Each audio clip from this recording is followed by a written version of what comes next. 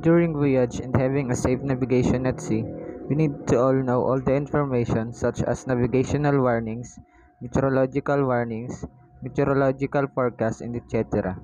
In navigation, there is a device that we use that provides weather information at sea, such as barometric high pressure, low pressure, pressure gradients, wind speed, and direction and temperature. And it is presented as, as a chart. This is called a weather fax machine. And because of that information received by the weather fax machine, we ensure the safety of the ship during navigation.